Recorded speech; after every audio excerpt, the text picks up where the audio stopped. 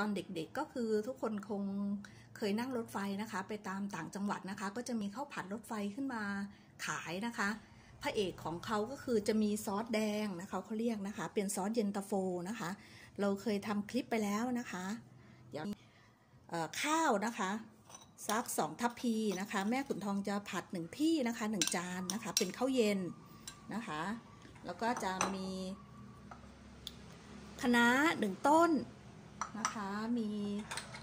ต้นหอมผักชีนะคะ อย่างละหนึ่งต้นหั่นไว้หอมใหญ่นะคะ ครึ่งหัวนะคะไอมะเขือเทศนะคะครึ่งลูกนะคะ หั่นไว้นะคะนี่นะคะเราก็จะมีไข่สองฟองนะคะก็จะมีต้นหอมนะคะ ต้นหอมแม่ขุนทองแช่ในน้ำโซดานะคะให้กรอบแล้วก็ลดความเฝื่อน ของต้นหอมกลิ่นฉุนอะไรไปได้นะคะ ลดความเผ็ดร้อนอะไรของเขาลงไปได้นะคะกรอบอร่อยมากเลยลองลองทดลองแช่ดูนะคะทุกคนนะคะอร่อยจริง ๆนะคะ อยากแชร์ให้ฟังนะคะก็มีพริกน้ำปลานะคะ แม่ขุนทองทำแล้วนะคะพริกขี้หนูสวนมีน้ำมะนาวแล้วก็น้ำปลานะคะ เตรียมไว้นะคะ แล้วก็จะมีแตงกวาไว้ทานแหนมกันนะคะอย่างนี้นะคะ เดี๋ยวเราจะมาปรุงข้าวใส่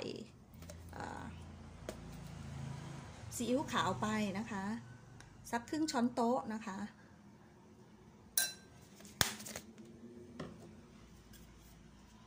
มีน้ำมันหอยไปนะคะ มีซีอิ๊วดำนะคะ เป็นอะไรไม่รู้นะคะ ซีอิ๊วดำผสมกับซอสแดงมันจะสีสวยมากเลยนะคะ ซีอิ๊วดำไปนิดนึงนะคะทำสีไปนะคะ ขาดไม่ได้เลยนะคะ ซีอิ๊วดำกับซอสแดงนะคะ จะมีกระเทียมเจียวที่แม่ขุนทองทำไว้นะคะ ใส่ลงไปด้วยนะคะเดี๋ยวเราก็จะคลุกข้าวเลยด้วยเลยนะคะคลุกซอสแดงไปเลยนะคะ ใส่ไปหนึ่งช้อนโต๊ะนะคะเลยสักห้าสิบกรัมนะคะ หมูไว้นะคะ หมักหรือไม่หมักก็ได้นะคะ บังเอิญแม่ขุนทองมีหมักอยู่แล้วนะคะ เราก็จะใส่น้ำมันกระเทียมเจียวไปนะคะช้อนโต๊ะนะคะ ใส่น้ำมันไปนะคะ ให้กระทะร้อนนะคะ ใส่หมูลงไปนะคะ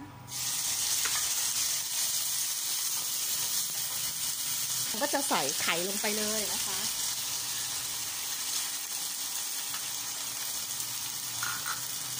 แล้วก็ยีให้แตกนะคะ ทีนี้ไม่ให้คนไข่คลุกรวมกันอย่างนี้นะคะ ต้องไข่อยากให้มันเป็นก้อนๆเส้นๆของมันไว้นะคะ แล้วเอาผักลงไปผัดนะคะมะเขือเทศกับหอมใหญ่นะคะนะคะเราก็ไข่มันจะได้สวยๆนะคะหอมใหญ่ลงไปผัดนะคะ อีกมุมนึงนะคะอย่างนี้นะคะทำเหมือนผัดไทยเลยนะคะ ก็ใส่คะน้าลงไป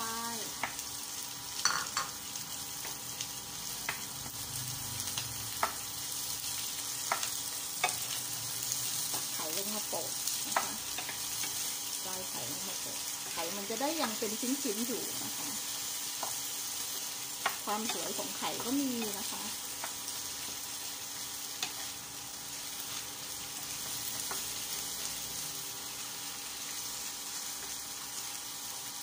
แม่ขุนทองจะใส่ข้าวลงไปเลย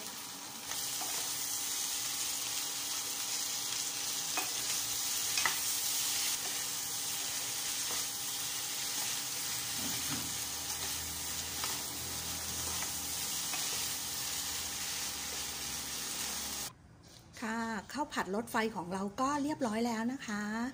ลองทำทานกันดูนะคะ สีสันน่ารับประทานเลยนะคะ พบกันคลิปหน้าค่ะ สวัสดีค่ะ